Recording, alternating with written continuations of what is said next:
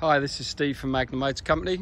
Just about to run this 1.4 TSI Golf Estate out the road. There's two keys. Nice cabin space. Quite a solid car.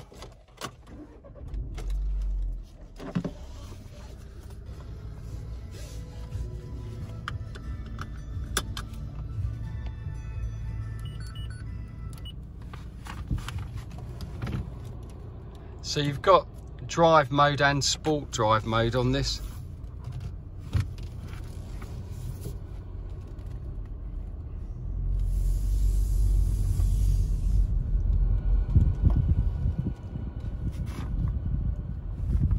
What I've noticed with this car is I quite like the idea that when you do indicate, the um, mirrors light up so you can see that um, it's indicating there as well as the dashboard, which is quite handy quite a nippy car.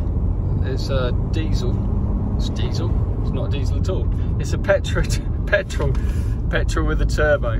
God, can't even talk now. Tongue's gone. Um, so yeah, plenty of oomph in it. Good visibility.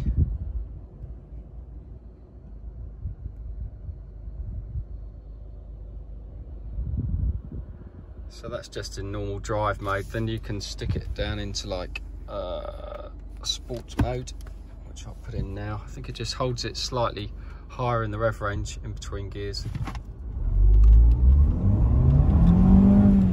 Oh, yeah, definitely goes for 1.4.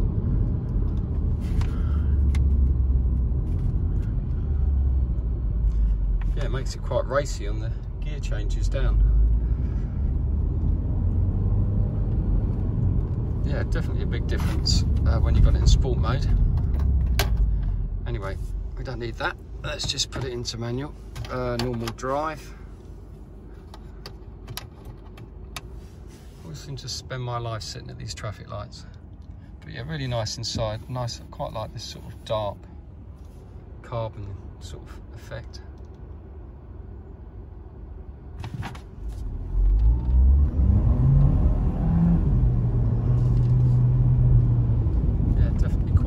Punchy little engine this. Anyway, just a quick drive down the road in this car. It's super low mileage, in lovely condition. Um, if you need any more help or advice, please give or Murray a call at Magnum.